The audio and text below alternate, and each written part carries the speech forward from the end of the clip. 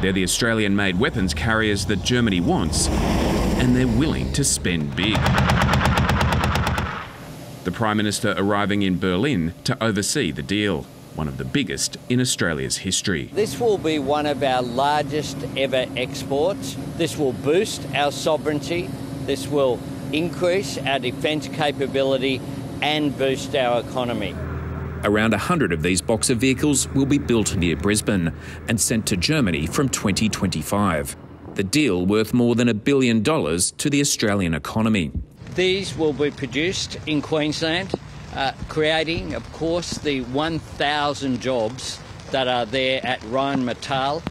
Anthony Albanese is in Germany to also talk about security and potentially joining the Climate Club, an alliance of nations committed to net zero emissions by 2050. There are enormous opportunities that Australia has, particularly on green hydrogen.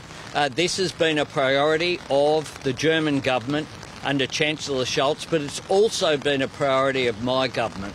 The Prime Minister will then head to the NATO summit in Lithuania.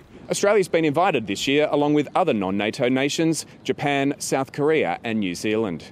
All are key players in the Indo Pacific, highlighting increasing concerns about security in the region. But the main focus of the summit will be the war in Ukraine. Kyiv's hoping the pathway to join NATO will become clearer at this year's summit. But the bloody conflict needs to end before the 31 country alliance can grant Ukraine membership. Instead, it's likely they'll promise more weapons to fight Russia rather than a roadmap to joining NATO. Steve Cannane, ABC News, Berlin.